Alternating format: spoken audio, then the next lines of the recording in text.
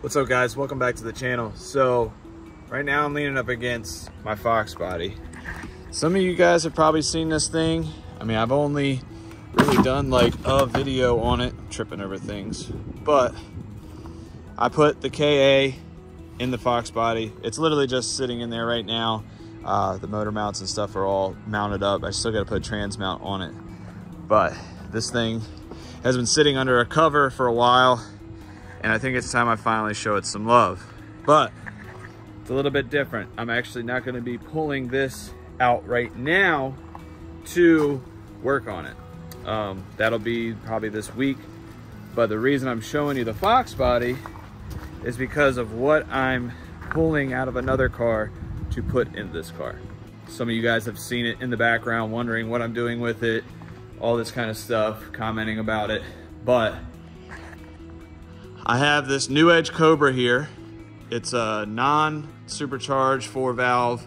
I got it from a buddy of mine. Um, it was one of them things where I bought it, said he was gonna get the title, hasn't gotten the title yet. Either way, I got this thing for the rear.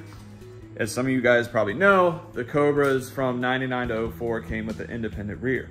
So I'm taking this rear out for my Fox body. I know I'm gonna get some slack because I'm taking the IRS out of a Cobra and putting a straight axle in it. But let me remind you, I still don't have a title for this car. I don't know when I'm gonna get it, if I'm ever gonna get it. So either way, I'm going to get this out so that I can put it in my car just for more adjustments and all that good stuff. Cause like straight axle's cool and all, but like I wanna kinda get more into learning rear toe, learning rear grip, and just having that more adjustability. Um, these swaps are fairly simple. I had a buddy of mine do it in his car and it damn near mounts all the way up. You just gotta drill like one hole out a little bit to make the bolts fit better.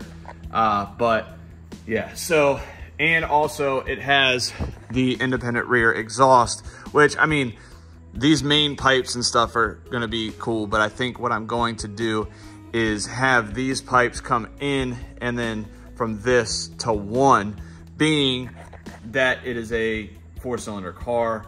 It's not gonna be, you know, crazy. I might get some like HKS high flow or high power mufflers just to give it that different tone, but still look like a Mustang. Still have the exhaust tips and stuff like that. So when people first see it, they're like, oh, cool, look, a Mustang, blah, blah, blah, dual exhaust, V8. Then you start it up and it sounds like a 240. And eventually the car is gonna be boosted and all that kind of stuff. But for now, I, I'm just going to run it in a, get it running, put around in it, stuff like that, start working things out. But the goal for today is to get this rear out and put, I have a straight axle sitting over there, get that rear put in. Still have the control arms and all that for the straight axle. So I'm gonna get these janky wheels off of it. I'll probably let my buddy run these so that he could use them as burners or whatever for his car. And yeah, so I'm gonna get these wheels off, which I'm just now realizing I have a wheel lock key and I don't think I have it in the car. So if I don't, I'm gonna have to get that out of there somehow. So, but yeah, so this car, it's actually not in bad shape. Like it's apparently a rare color um, this year specifically, I think they only made like 500 in this green. I don't know exactly what this green is. Somebody will comment. I've read it on Google. I just don't remember. All right, well, we got the wheels off. I actually did find the wheel lock key in the car. So I got the rear wheels off. I actually went ahead and took the other wheel locks off the front so that when I go to take those off, it's all good. So all you really got to do is just take these bolts off here. There's two here. I'm going to go ahead and spray them. So you got these two, you got the shocks, you got the front bolts here. And then I do believe there is a bolt somewhere else going up, but I could be wrong. But what I'm gonna do is spray all these bolts, spray the drive shaft bolts, and also I'm gonna spray this exhaust off. Or honestly, I'm probably, if the bolts don't come undone, I'm probably just gonna cut them. But I'm gonna get this exhaust off, out the way, and then move on to the next thing. So, but if you can see more on how intricate all this stuff is, I mean, you got an upper control arm, lower control arm, tie rod, axles, all that stuff. And It's essentially just a 8.8, but they're different from like the Explorers and all that stuff. So I'll eventually get coilovers, but for now I'll probably just throw these in there. I don't know if the spring perches are in the same spot for independent rear or for straight axles, so we'll see. I believe they are because the lower control arm usually goes from here to here to the axle, so the spring might be okay. Not this one specifically, I'll put different ones in it, but put the springs in there, all that. So moving forward. Why don't you go being difficult now? That's what you got there. Yeah, we don't need that when we're going. no, sir. Nice. Get it out of there. All right, well, we pretty much got everything out. We got the two bolts here, the two bolts that come from the bottom. I got the front uh, bolts that go through the frame and all that good stuff.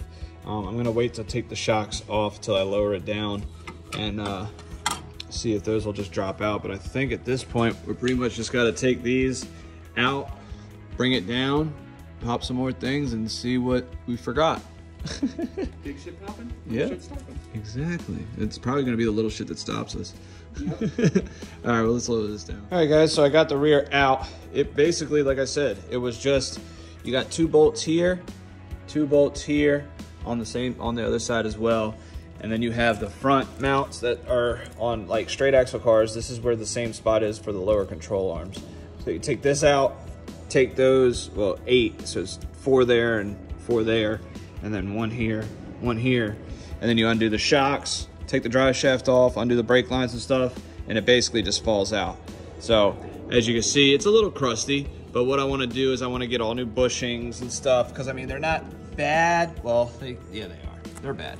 So I wanna get new bushings, probably some poly bushings and stuff, and all that. And then coilovers, get some uh, sway bar end links, you know, because these ones are pretty shot, and kind of just go through it, get new brakes and all that kind of stuff. I do know that I think Scotty D or someone like that, I think they offer dual caliper plates. So what I basically want to do is get everything for this rear done and basically have it as a full drop in. So as soon as I'm done with this, I could throw it in the Fox body and then be done with it because I mean, it's, I mean, they're pretty sick. You know what I mean? You get better like traction and all that good stuff. So they're, they're gonna, it's gonna be good. So I'm gonna work on getting this all cleaned up, start wire wheeling it, take everything off that I'm not gonna use because I believe these lower control arms with the spring buckets stay.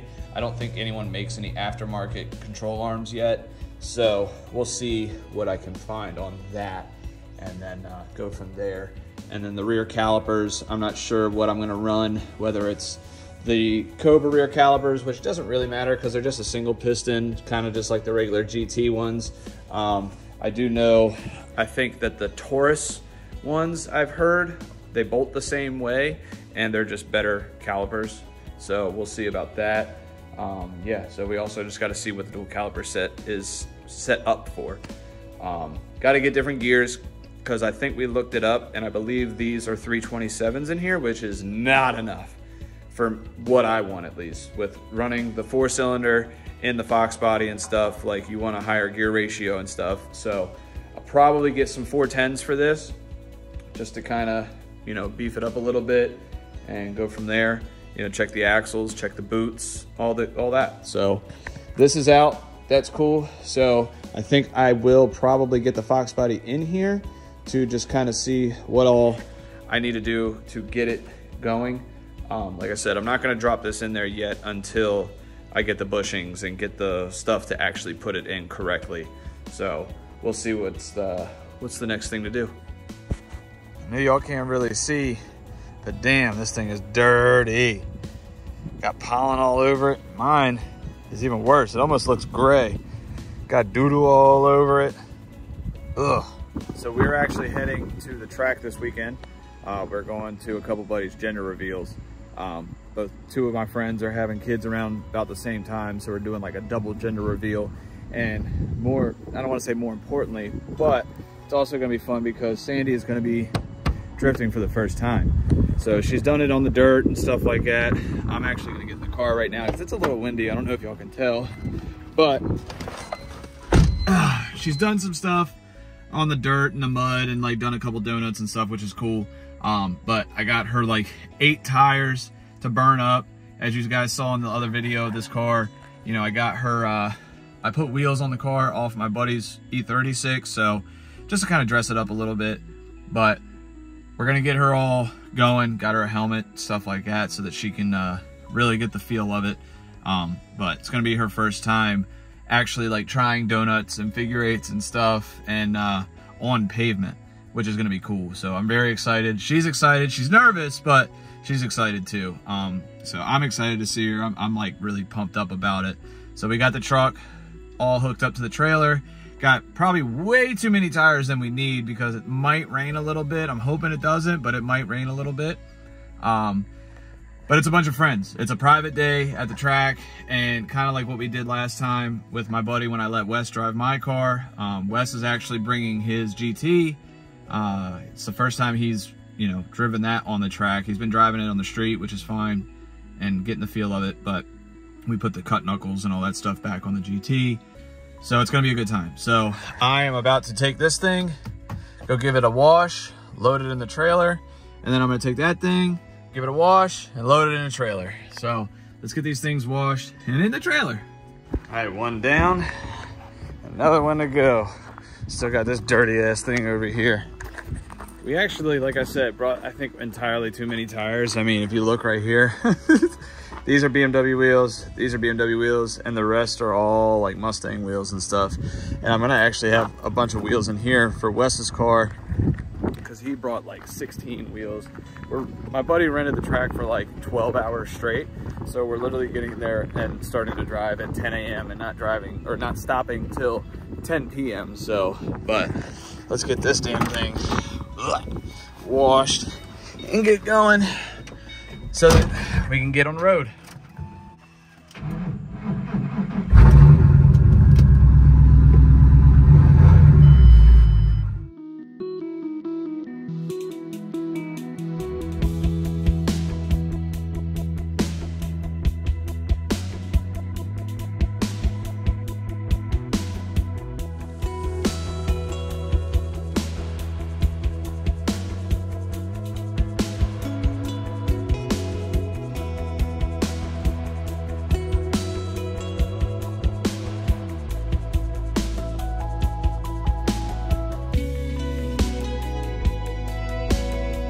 Are you sleepy yet?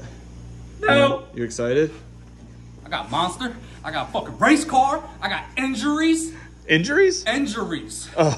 You know, I'm full of fucking injury right now. ah, monster, monster, and monster injuries. All Ah! right, well, we had to do some tires for Braxton, but I wanted to show you guys this.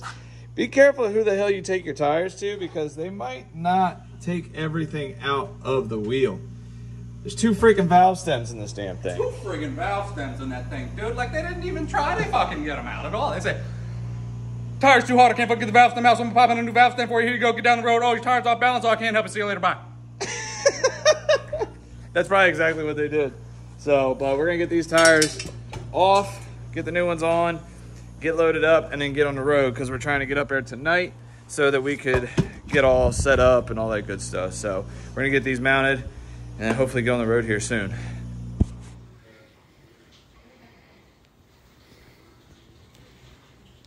What did y'all do to this man last night? God damn, so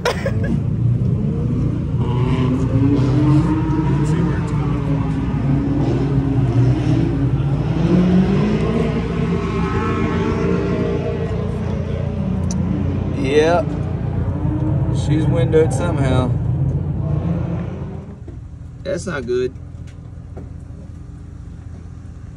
All right, guys, so we did a couple laps, but um, it didn't really go as planned. We made it out to the track, and I got a couple in.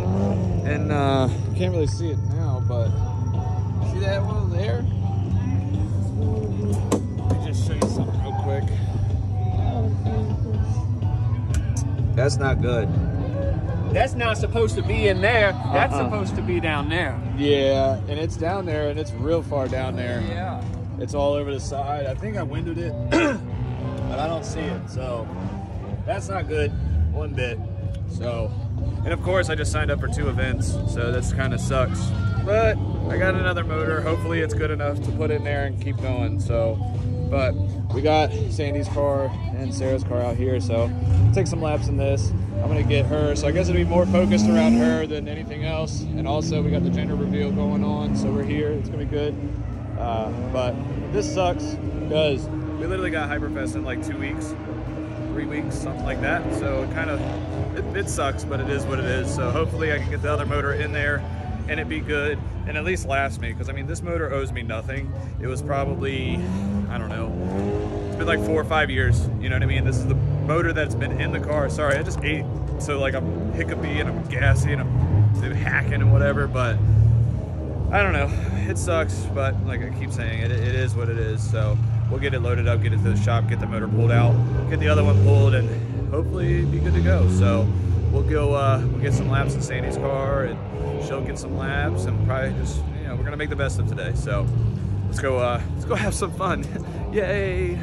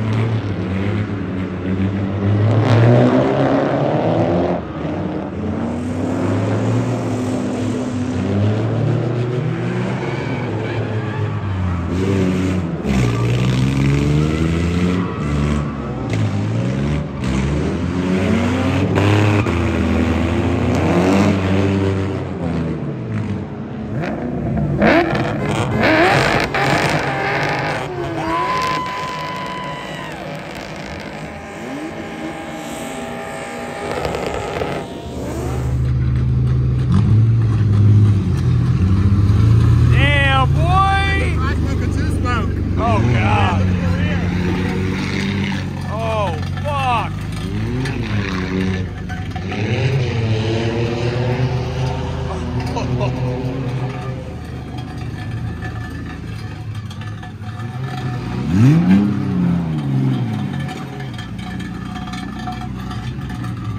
Hey, Stance cars ain't got shit on him. His wheels weren't even sp- spinning.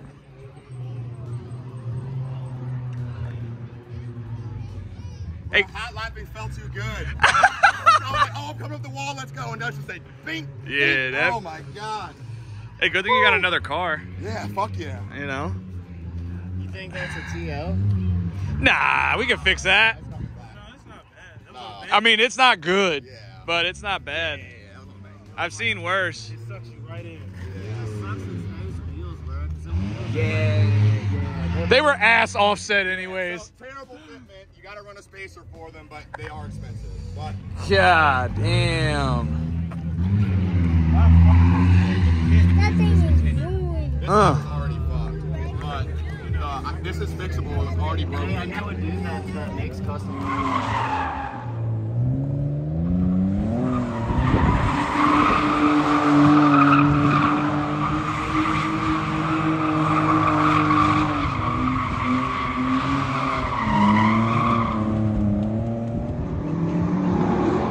Three, two, one.